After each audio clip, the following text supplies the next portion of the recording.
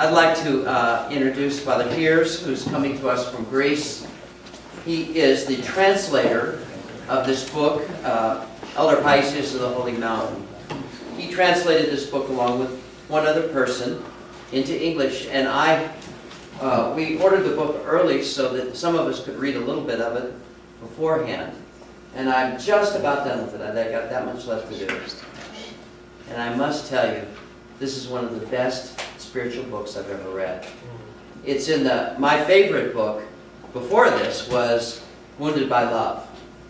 And um, it's, it was wonderful because of the life of the elder, Elder Porphyrius, and because of his teachings. It's the book at both. This is filled with everything. This is a 700-page book. When I originally heard about the book, I thought that much of what he had, uh, Elder Paisius had done and said was translated already into English. And it seemed to me that, um, you know, what's the book? It's just going to be another rehash. This book is so comprehensive. It takes the beginning of his life from when he was, uh, practically when he was born, and uh, talks about his development.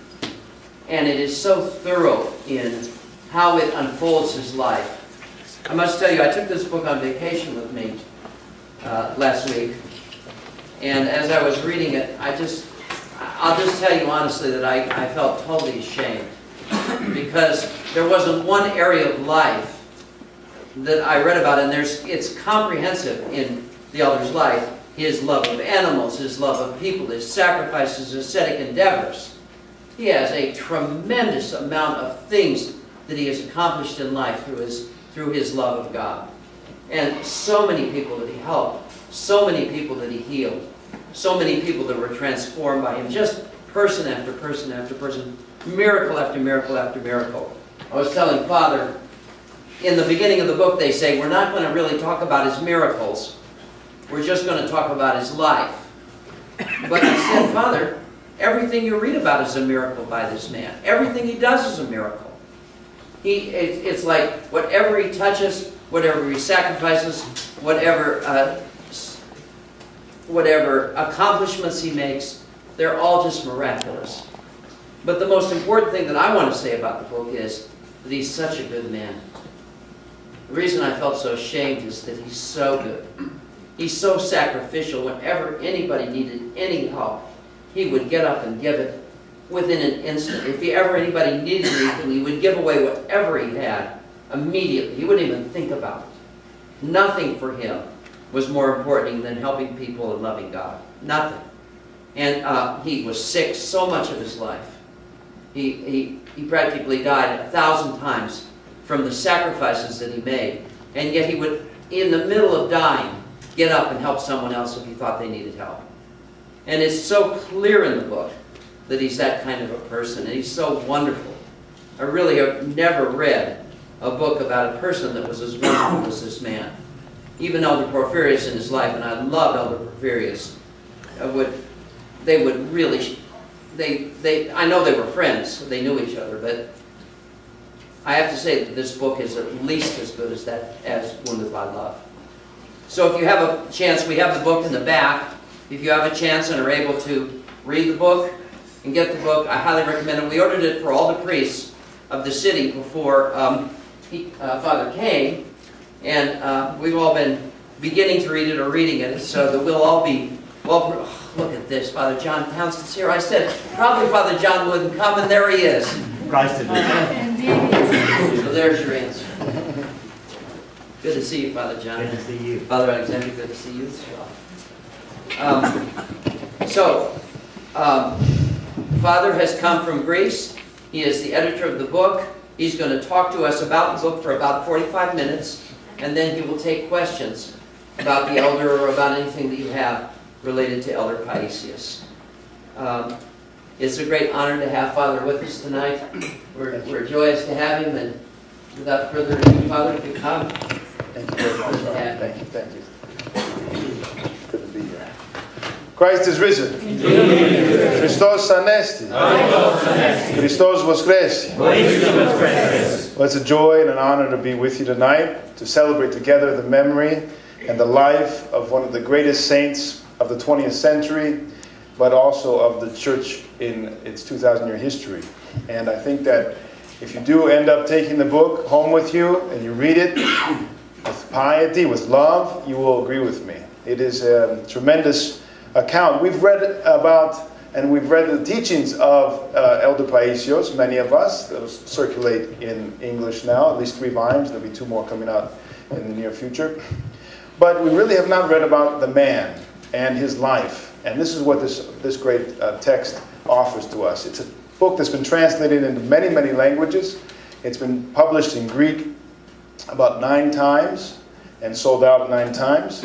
And um, uh, it's a classic Orthodox spirituality. It's a classic. It's uh, up there with all, all the contemporary classics, like Father was saying. But I would say for us in the 21st century, it is essential that we run to the saints, that we run every day to the uh, wellspring of holiness in our century.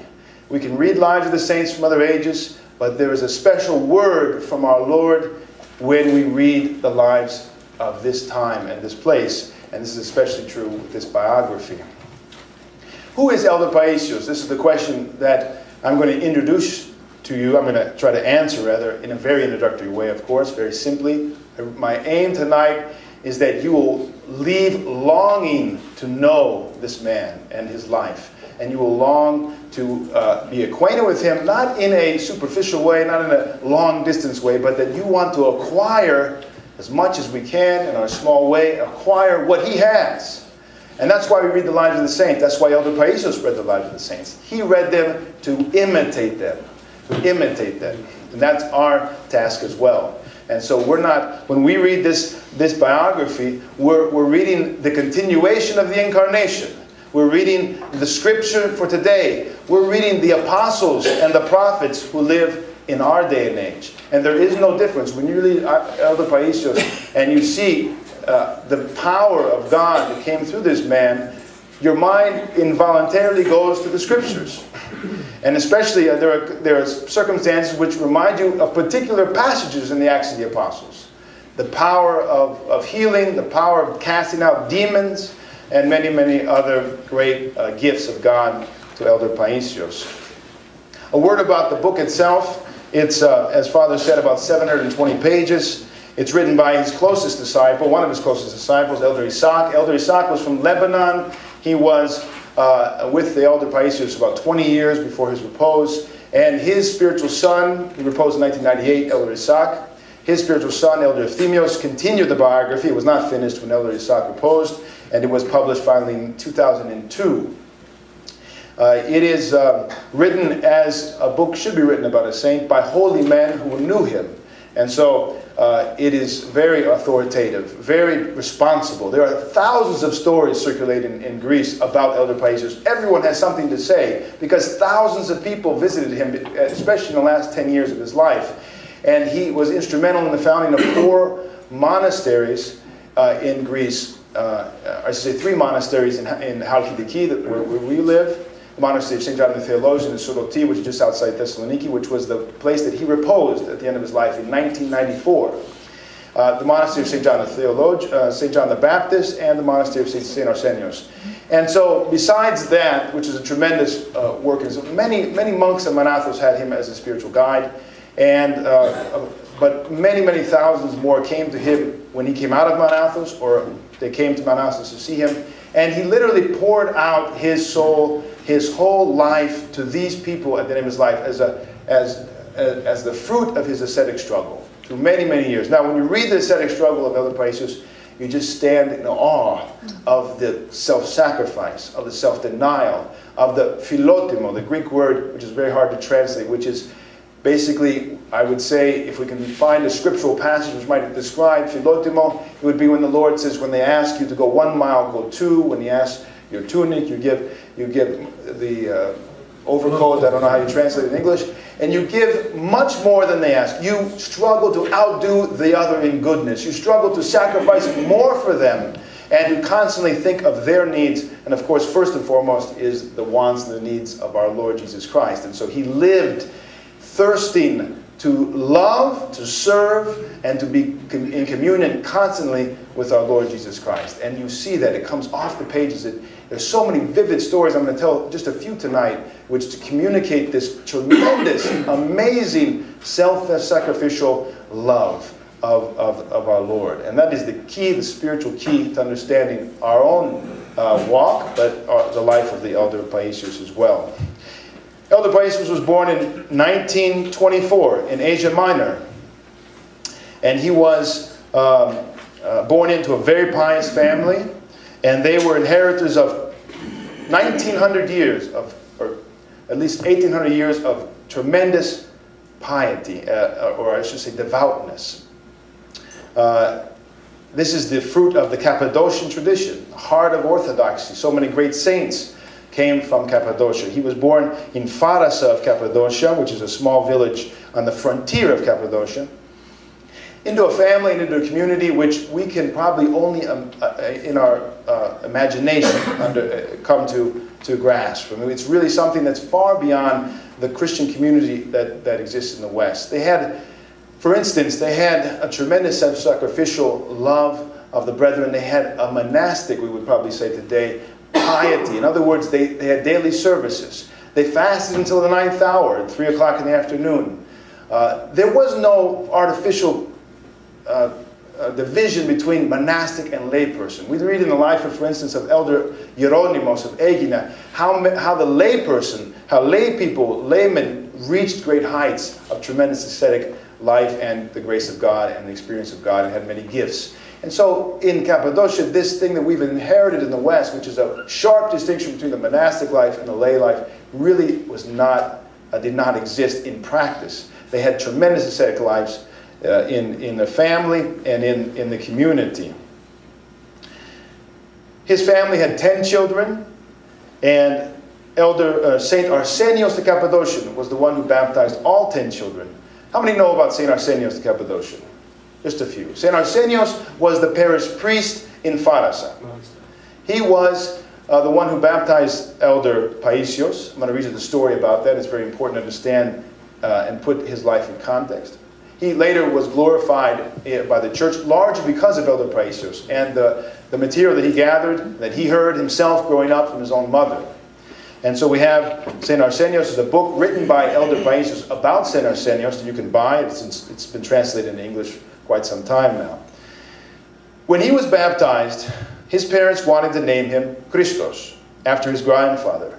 But St. Arsenio said to his grandmother, Ah, Haji Anna. Haji is a Turkish word. It means somebody had gone to Jerusalem on pilgrimage, as many of them had from, from Asia Minor.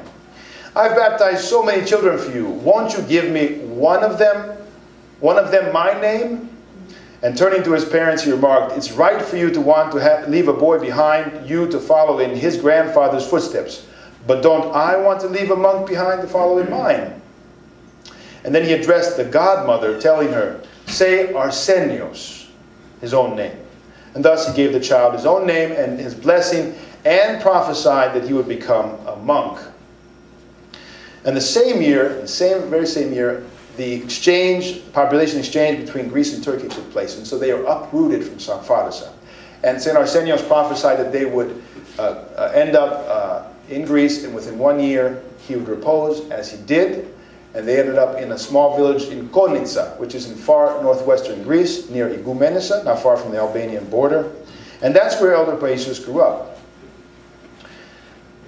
So he grew up not listening to fairy tales. And I think when, let me just make a little parenthesis here. When we read the lives of the saints, we need to be asking ourselves questions continually. Uh, how should I raise my children? What should I teach my children? What should I read to my children? And then we find the answers in the lives of the saints. And we should imitate them if we want to achieve the same, at least some degree of the same holiness and, and, and uh, uh, sanctification that the saints had. So we ask ourselves, what did she read to Elder Paisios? And again, she did not read fairy tales, but she read the life uh, stories from St. Arsenios and the lives of the saints. And she taught him humility. She taught him not to want to beat the other children at their games and brag about it. Not to try to be the first in line, since being first or last was the same thing. She taught him abstinence by instructing him not to eat before it was mealtime, and she considered the violation of this rule akin to fornication because it showed a lack of self control.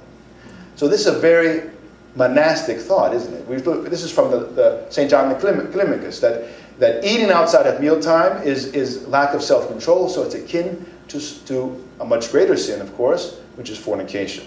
And this was right from his mother's uh, uh, breast, let's say, that he started learning the monastic way of life. She helped him to become simple, diligent, tidy, attentive to his behavior towards others. She taught him never to refer to the name of the tempter. In other words, never name the enemy of our salvation. And that's where we have the word in Greek that he used for the tempter, tangalaki, which is a, from the Pontian dialect, which basically means troublemaker. That's the only way you could probably translate it into English. He never referred to the name. Or he would say, do. In other words, the person who should be out of here, the, the, the one who should not be among us. And I think that's instructive that he took that from his mother and he used it entire entire life.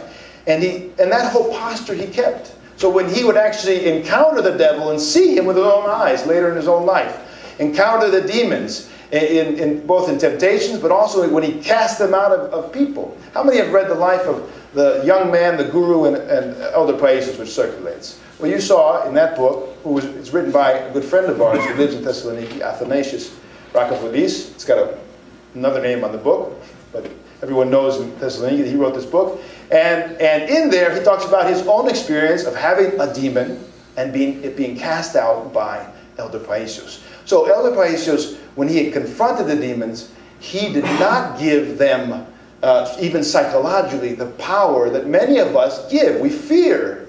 And in fact, when people would talk about the Antichrist, and people, nuns would come to him and he would say, you know, uh, I'm, afraid. I'm afraid of the last times, the Antichrist. He would say, why are you afraid?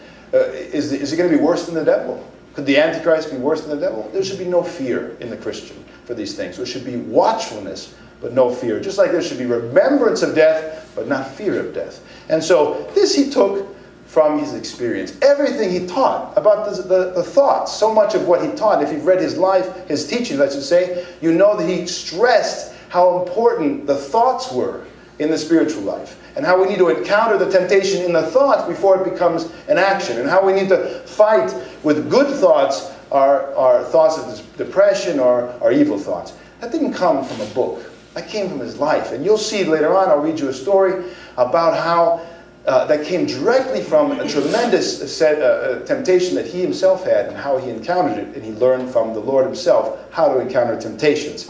So, right from the beginning, he had an experience of the grace of God and the spiritual warfare. And that's something that, in and of itself, should be a tremendous teaching for us.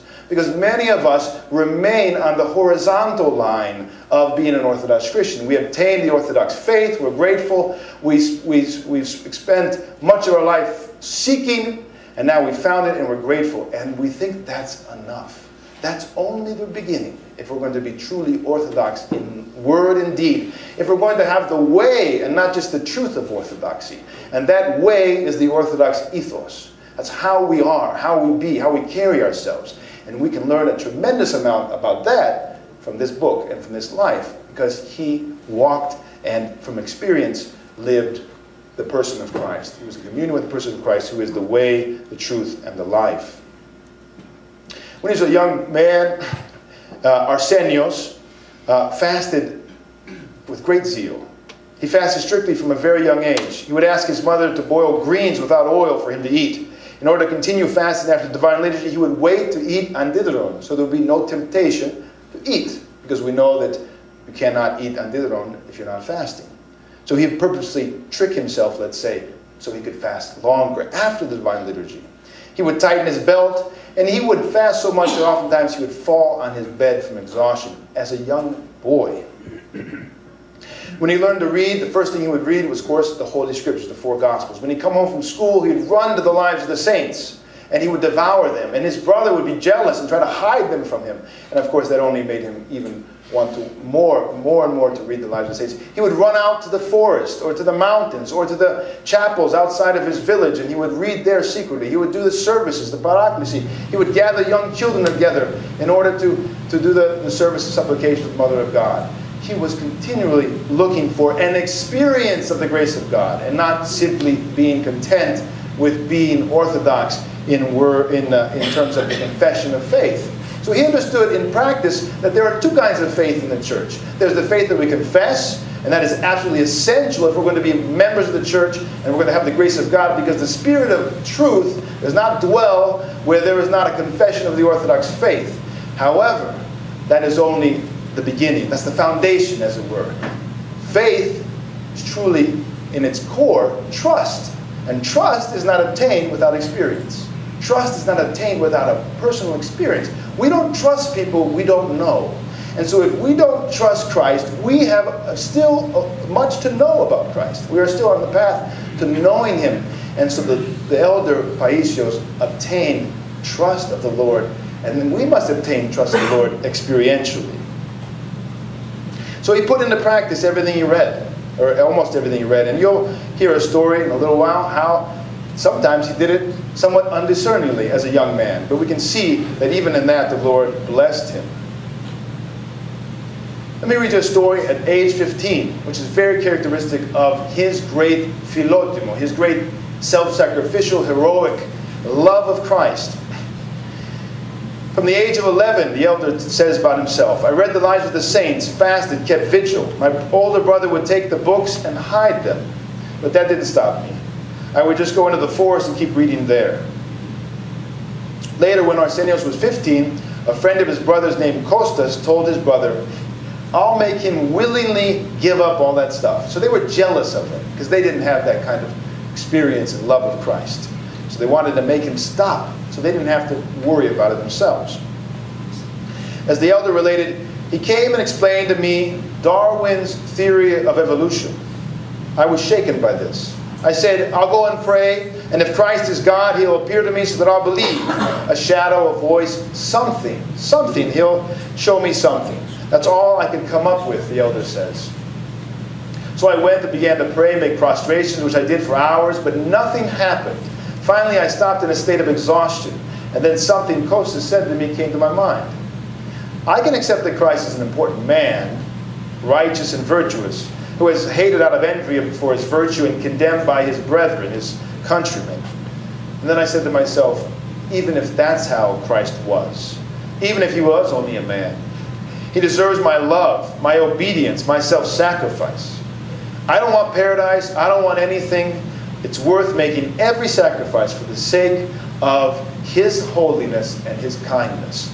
And that's all God wanted. He was waiting, the elder says, God was waiting to see what kind of response I would have. Now, he spent hours doing prostrations, hours praying, but the Lord was waiting for what kind of encounter, what kind of uh, response to the temptation he would have in his thoughts. Would he have an heroic response? And that's when the Lord appeared to him in a great light. And he had the gospel book in his hand, and he said to him, I am the resurrection and the life. Those who believe, he who believes in me is not dead, yet he, even if he were dead, he shall, he shall live. And so he was open, he had open in his open hands the gospel with these same words. And so even at 15 years of age, because of his tremendous self-sacrifice, but also because of his philotimo, his great sacrificial, heroic love of the person of Christ, the Lord visited him, showed himself to him, and, and uh, changed his, his whole approach, his whole understanding uh, of, of the Christian life because of that, that vision, that with the root of the temptation. And they're not take, making amends and therefore the grace of God is not coming back to heal them. Well, let me read a little bit, because we don't have much time, and I don't want to go over, and I want to open it up to questions and answers. Let me read a few excerpts from the section entitled The Gifts of God to the Elder Paisios, which are tremendous. And I want to do that because I want you to understand the heights that this man reached and understand that they are directly related to his ascetic struggle, his crucifixion of the flesh and of the mind, and only in, in that way, when we send the cross, are we going to receive the grace of God as he did. Now, he was uh, just great, as Father said, he was uh, given such grace, so, many gifts, uh, by God. And I'm not, not going to read them all because there are many. There are actually 17 or 19 small sections on different gifts of God uh, to the elder. I'm just going to mention a few and then we'll get into a few stories. Many times he would walk, he would be raining, but he would not get wet.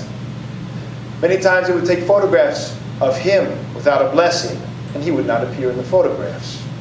Many times he would immediately appear before the pilgrims without them seeing how he came to them. Other times they saw him in midair, in prayer. Other times, uh, well, I'll read this section. This is very interesting. I'll read this one to you. Very short. One time when he was at Stomio, two bears came into the yard of the monastery at Stomio. The elder grabbed them by the scruff of the neck and told them, Next time, don't come into the monastery like that. Come around the back of the kitchen so I can feed you. And then he took them there. So he had, there are many stories of his relation to animals, as Father said. He had snakes, he had birds, he had all kinds of animals that came to him. And people saw him asking to leave the, the monastery grounds or feeding them or any, any number of things. He had, a, he had the thing that, that we saw in the life of St. Seraphim Sarov. He was uh, like Adam in the garden, as we see in the lives of other saints. We said earlier that he was someone who had encounters with the demons, and he was a scourge of the demons. I'll read you just one, one uh, excerpt from that, or two excerpts from that. One night when the elder was at Stomio, he said to a young man who was staying at the monastery, You stay here, I'm going somewhere else. And he set off for a cave. To get to it, he had to climb down a steep slope of 300 yards. When he was climbing, he heard a rooster crow in the desert. He understood who it really was and didn't proceed further, remaining there all night in prayer. This was the first time the devil bothered him at Stomio. For some time at the beginning of the elder's stay at the Iviranski, the devil would come and knock on the door of his cell saying, to the prayers of our holy fathers. The elder would reply to him, You're driving me to paradise, devil. You get me up to pray. There was a temptation in that cell because a layman who was involved a bit with spells poured holy water from the great blessing of the waters onto the walls in a scornful way. These are just two small excerpts from his encounters with the demons. Now, this is a, a, a story about he, how he cast out demons from possessed people that came to him. They brought a possessed girl to Souroti for me to see, reported the elder. The poor thing was really exhausted, and she showed me a tumor on her right side as hard as a rock. I took out a shell that I had hanging around my neck, which had one of St. Arsenios' molars in it, a relic of the saint. And I pressed it on the tumor. She started shouting, and her cries caused a stir all over the monastery. She was trying to vomit, and then I put a holy relic around her neck, and she began moving her head very quickly, back and forth, as if it was going to fall off her neck.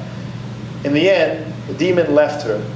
Worn out as she was, she calmed down and was healed. And of course, he doesn't say it, but she was healed by his prayers.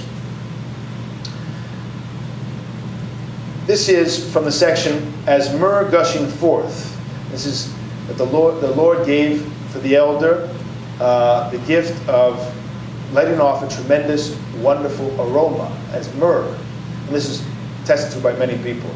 Another Athonite monk relates the fragrance that sprang from the elder was something else. Many times when I kissed his hand, I would smell a supernatural aroma, like myrrh. I would smell the same thing coming from his mouth when he spoke, even though because of his extreme fasting, the smell should have been a foul one. Time after time, the first thing I would notice when I would pass by the creek on the way to his cell was this aroma, which would accompany me the whole way to his cell at Panagouda. This is the last cell that he had on Mount Athos. He would be able to communicate with foreigners. There's several stories how he talked with people who were French speakers or English speakers. He himself did not know any foreign languages. I'll read you just one story. One day relates the spiritual child of the elder. I went to Panagouda very early in the morning. The light had just begun to shine. I rang the little bell, and the elder opened up for me, smiling. He asked me, What do you say, Papa? When St. Ephrem the Syrian visited St. Basil the Great, did they need an interpreter? I don't think so, Geronda, I told him. I entered the guest house and found a foreign visitor there. While the elder was getting ready to treat us to something, I started talking with the guest, using the little English that I knew. And he told me that he had arrived very late in the previous night, having lost his way. Time passed by, and the elder put him up for the night. The elder had left him for about 10 minutes in the beginning because they couldn't communicate. He left them to go and pray. And when he returned, they could talk without any difficulty. The elder knew Greek, the visitor English, but they had no problem in conversing. It was also well known that the elder could be, uh, by the grace of God, present in other places. And there was one story here where he was in Jerusalem. Everybody knew he had left for Jerusalem, he was on pilgrimage. There were, a gift, there, were, there were a group of people who went to visit him. And they sat and they spoke with him and talked for quite a long time. And then they left and went to the monastery of Philotheo and told the fathers there, We saw Geronda Paisios, we had a wonderful talk. And the father said, Well, that's impossible because he's in Jerusalem. And then they went the next day and found that, in fact, he was in Jerusalem. They talked to other monks in the area. No, he's in Jerusalem. And that story circulated throughout the Holy Mountain. Even in his own lifetime, it was well known. He could sense the prayers and entreaties of people far away. And he talks about that himself. He says himself, we went to see, someone relates this rather. We went to see the elder before the other fathers came for the feast. The elder was by himself in the guest house. When we saw him, he told me, Just now a woman appeared to me and was asking for help. She seemed to be very sick. Her face was thin and yellow like a lemon. She was in a lot of pain. Many times people appeared before me and asked for help. He knew about the state of the reposed. By the grace of God, the elder, having a pure intellect, was deemed worthy to see the souls of people at the time that they were, they were leaving the earth and ascending towards heaven. He also knew the state of some of those who had fallen asleep. When asked, he would answer about the soul of a departed person according to the state he was it in. For example, he might say, God has granted rest to your mother's soul, or you should do alms in his name, or let us pray to the Lord so he will grant him rest. The elder once said, I wanted to know about the first nun who had reposed in the monastery of Souroti, what state, state her soul was in. They brought her to me in their arms. They, presumably, are the angels. They brought her to me in their arms. The elder demonstrated it as though he were carrying a baby. And they told me, the soul of Magdalene. This is the soul of Magdalene. She was in a very good spiritual state, as high a state as an ascetic I knew who practiced asceticism for many years. The most well known gift to the elder by, all, by, by far is his clairvoyance and his foresight. I'm going to read you two excerpts from this section. There are many, many pages with many stories. And there are books, local, many books that circulate about this and other gifts uh, of the elder that are not in this, in this life. Because he had the gifts of clairvoyance and foresight, at times the elder knew by the grace of God about the coming of visitors, their attitude, their spiritual state, their name, where they were from, their line of work, their past, and their future. He had a spiritual television, as it were. And at times he could see people who were far away. He would know what they were doing, how they were, what they were going through. Other times he knew he, what was in a letter that was brought to him without opening it. Or he would know what a package contained and he would respond without having to open it. When the war started in the Persian Gulf, he relates himself, I felt pain while I was sleeping. I heard the thundering of the artillery, the bombs, and the planes, and I woke up. I realized the war had started, that something very bad had happened. Afterwards, the fathers came to me from Koutloumousiou Monastery, and they told me the war had indeed begun. And I responded that it had started about two hours ago. I felt the same thing on the third day of the war. A middle aged man came here, recalls the elder, who suffered with a bad headache for about a year. And the doctors couldn't help him. I saw him coming from ways off, and right away I realized that he had a demon. He told me about his suffering. So I told him, These things are happening to you because you cheated on a woman. And she went off and had a spell, a demonic, uh, she called on the demons to come and give you these troubles. Plus, you shamed another young girl. You need to go to ask forgiveness of them. Go to confession, have them read exorcisms over you, and you'll be fine. He also had the gift of healing. He saw many saints. I'm cutting it short because I want to open it up for questions and answers. He saw the Mother of God. He saw the Christ himself, not once but many times. He saw St. Catherine, St. Euphemia, the great martyr, who talked to him about his own martyr, her own martyrdom, but also apparently counseled him about the whole question of the non-Chalcedonians, because she is the great martyr, as you know, her relics were instrumental in the Fourth Ecumenical Council. And he had a particularly strident stance on that issue, most likely because of his uh, uh, encounter with St. Euphemia, but also for other reasons. So uh, he also, and this is probably theologically speaking at least, the most sure sign of his deification, that he had passed purification, he had been illumined, he had reached the theosis, he had reached glorification. He saw and was seen in the uncreated light. And I'll read just one excerpt from that. This is a hieromonk. His name is Stephen from Lakkoskiti, someone that I had the blessing of meeting and knowing on Mount Athos. Uh, and he's the translator of this text into Romanian. And he relates the following. It was the second time I had visited the elder in the fall of 1993. Father Dosithios, the Romanian, was with me. We went through the back door and we found a lot of people in the yard. The elder was standing up, speaking with someone, and he had his back to us. When he heard our footsteps, he turned around to look at us. And what did I see before me? His face was shining. It was visible, but in a light. I stopped before this unusual sight, and my heart was filled with much love and great joy. The elder looked very sweet. I never felt such love before. And then his face became normal once again. Another Athonite rec recounts at the neighboring hermitage of St. John the Theologian, a monastic tonsure was taking place. Elder Paisios was present, and I was standing next to him. At the time of the communion hymn, which he chanted, I looked over and I saw his head. His head was shining like a light bulb. I couldn't look at him. This lasted for a short time. There are many other things one could relate about the elder Paisios. His teaching on philotimo, spiritual sacrifice, nobility. His teaching on the thoughts. His teaching on humility, obedience, how important it is. His teaching on the church, something that's very important for us in the Western world. Because although we understand it theologically or rationally or theoretically, we don't understand it oftentimes in practice. And so the elder helps us very much in understanding what it means to be a member of the body of Christ, what it means to, to live and to sacrifice for the confession of the Orthodox faith. He speaks about the old calendars and the schism that was created in 1924, 1923.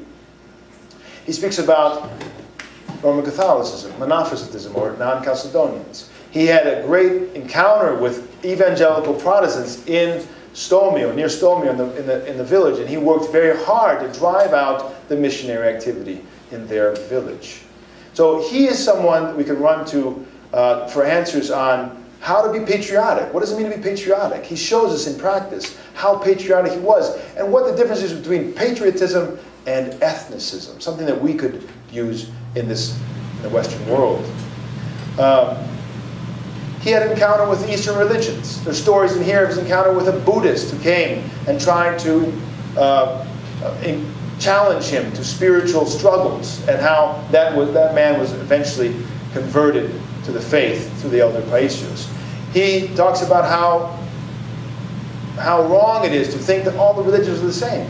How many of us fall into that trap today. And we think of uh, many paths up the mountain or the transcendental unity of religions as this philosophy of perennialism and other things that people buy into. The elder shows us in practice and in word why Hinduism or Buddhism or other religions are not the same, are not an experience of the one God. And so many, many things. And we need these teachings especially for our own day. So this is an essential book in every Christian, Orthodox Christian's library uh, because it is so close to us and so important for us. So with that, I'll close. I thank you for the opportunity to present a very, very quick introduction of this tremendous book. But I hope that you all have questions, and I hope that each of your concern we can at least address uh, and, and, and get into some of your own concerns tonight. Thank you very much. So if anyone has a question, just raise your hand and we'll, uh, Father will take them.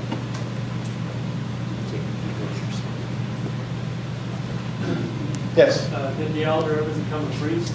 The elder said that that was offered to him, and he didn't mean by, by a bishop. He understood that the Lord would accept it if he wanted to become a priest. He denied that. He didn't want that. He, and in response to somebody, he said, we don't need to receive all the gifts that the Father gives. Some of them we can, we can deny. He didn't want to become a priest. He didn't want to. He liked to be a monk. He remained that way. Let me, let me say also before I forget, tremendous part, an important part for Orthodox Christians in America in the, in the book is his chapter on the difference between devoutness and piety. And he made a distinction. In other words, devoutness is evlavia in Greek, and piety is evsevia. He never used the word evsevia. He word, used the word evlavia, and he made a sharp distinction between the two.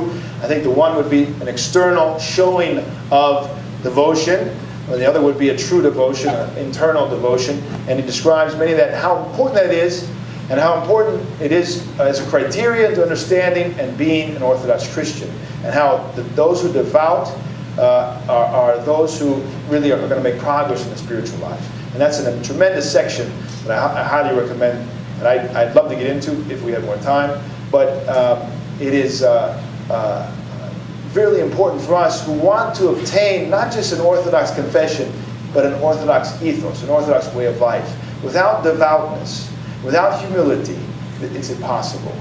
Because we come with our own baggage, we come with our own ideas of what Orthodox is all about, and, and we don't want to adopt those things because of our pride, and we don't understand how important it is, at least in the beginning, even if it doesn't seem natural, to adopt certain practices in order to become comfortable and to, and to change our habits and our, our ways of life and to obtain an Orthodox ethos. Only when we do that can we make progress in the spiritual life. Humility, devoutness, and the Orthodox, that, that goes into to make up the Orthodox way of being. So that's an important, important teaching of the elder.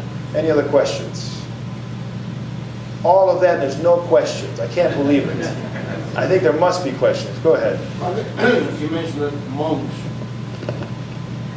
they comprehend everything about our faith, they study, knowledge, all for the glory of God, of course. But my question is, why then they isolate themselves and stay there rather than come out and help us?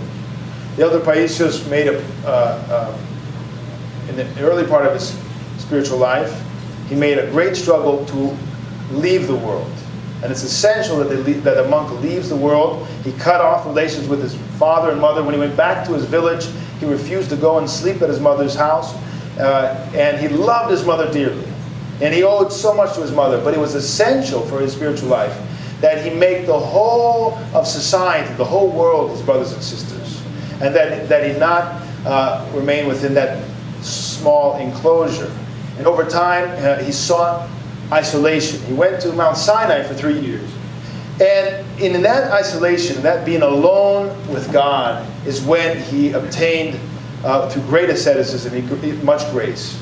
And God showered him with grace. And he was able to then become even closer to God, become a glorified, uh, deified man. And, and then, when God showed him that it was time, he could turn to the world and then truly offer back to the world uh, those treasures. If he had not done that, he would not be able to praise If he had not done that, he would not be able to offer back to the world the great things that God gave to him. And there are many monks who never will come out because they've never reached the heights. And so coming out would be destructive for their spiritual life. Not, it would neither help you or, and me are in the world or themselves.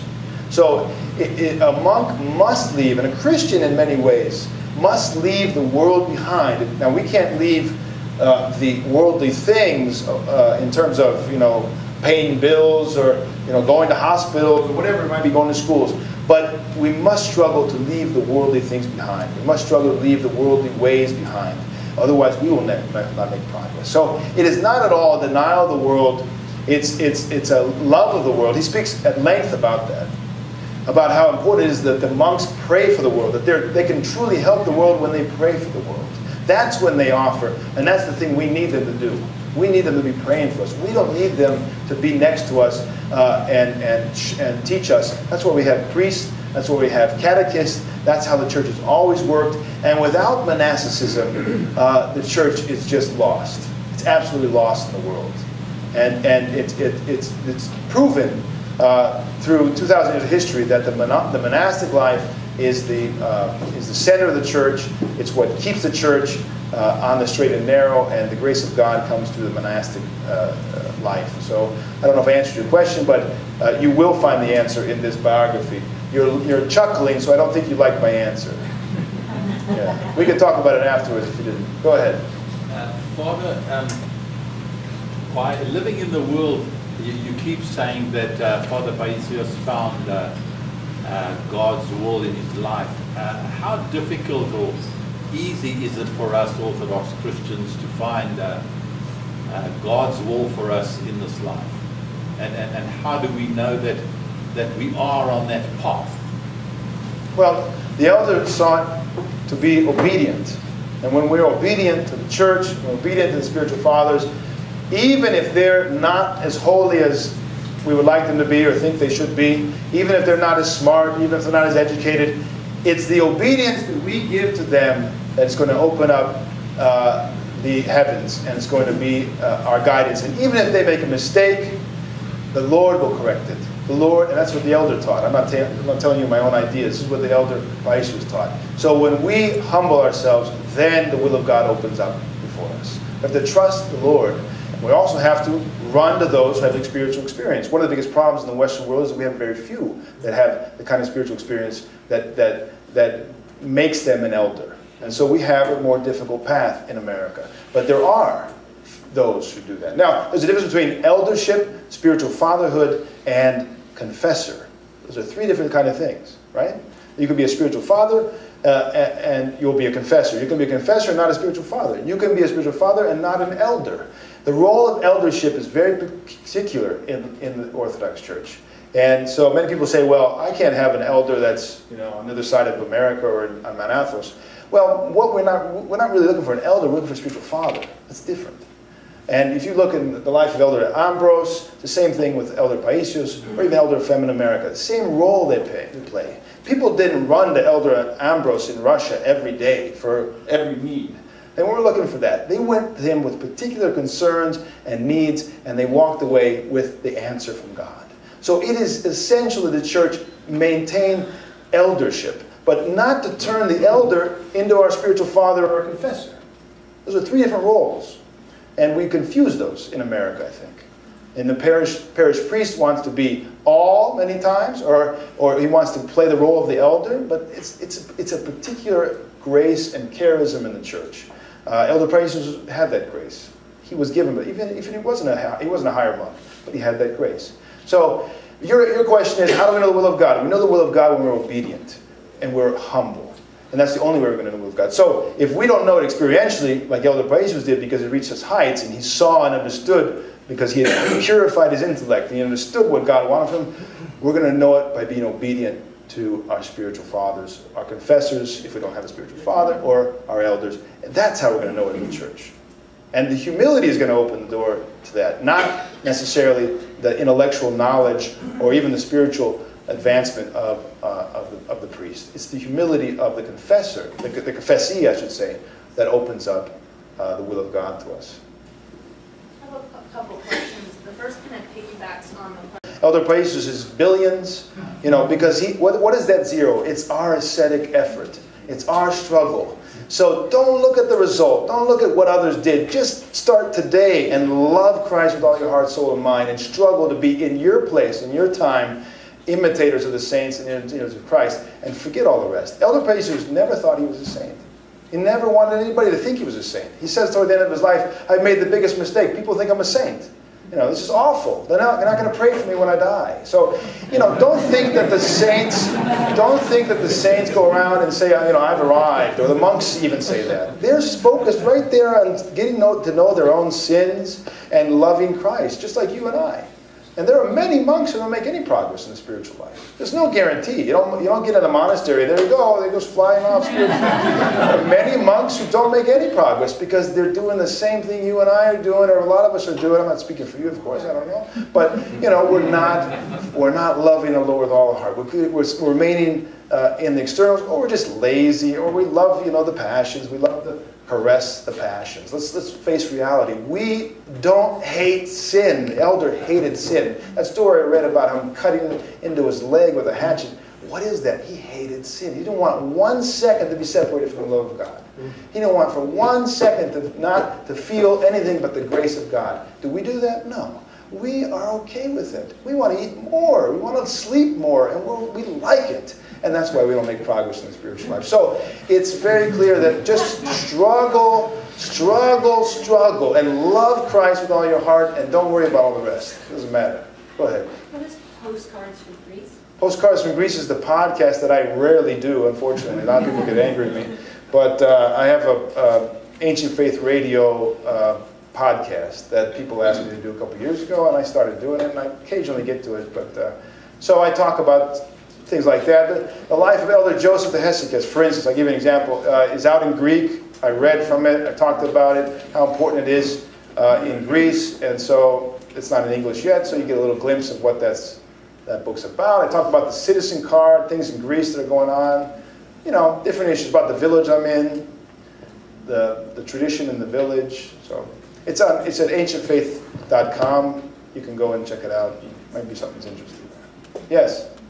Could you discuss how the, uh, the Greco-Turkish conflict uh, influenced and framed the elder's life? The Greco-Turkish conflict, how it influenced the elder's life.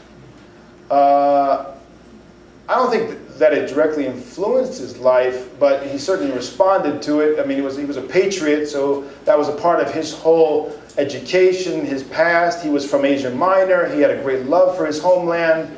Uh, he uh, also was a part of an Athonite tradition which had a tradition of prophecy about that and how that's going to end up. And he himself had prophecies about that. He speaks about that in his, in his own time, and people quote him. Now, there's a little bit of confusion on exactly what he said and what's attributed to him.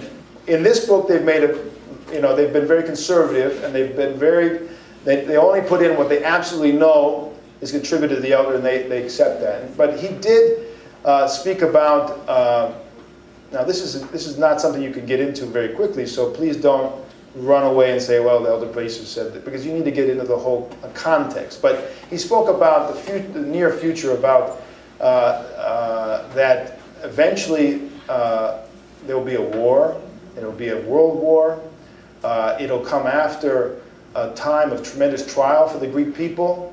He talked about there'll be in the future tremendous taxes levied against the Greek people, and that'll be an excuse for them to introduce because of tax evasion, it'll be an excuse for them to introduce more and more totalitarian means to control the population.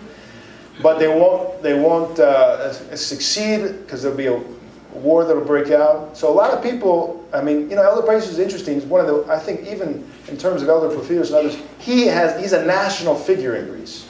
I mean, we watch them on TV, we have documentaries, they have shows about them.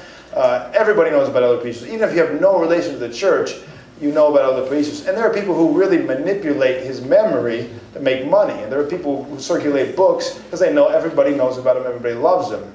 And uh, so people talk about these prophecies. And so it's not very healthy, of course, because they're not, they're people who don't have any spiritual life at all. And so they, they just take that and they, uh, they, don't, they don't understand the context from which it came.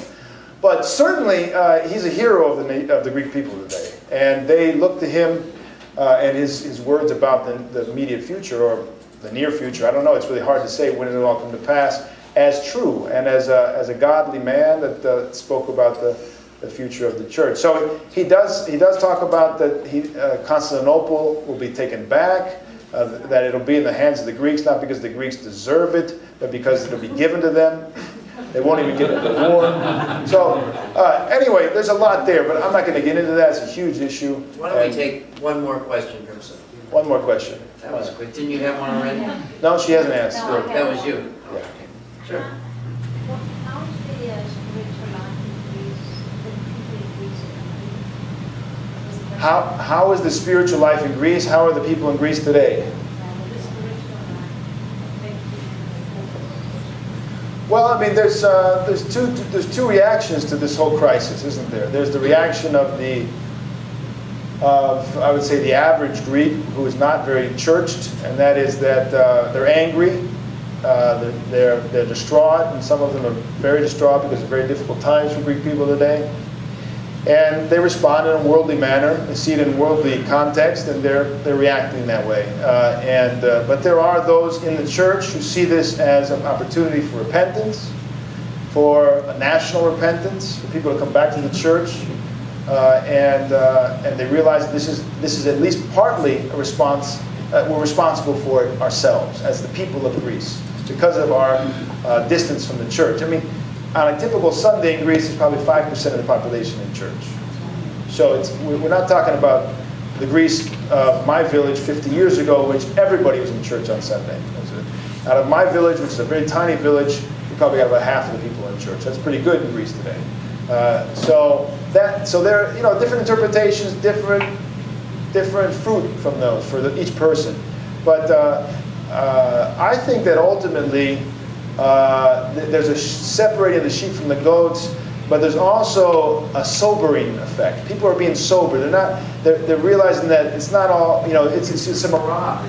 What we have and what we think we will have, and this and this European Union and all the stuff that's been promised and lavished on the Greek people, it's a mirage. It's, it's sham, and so that's good.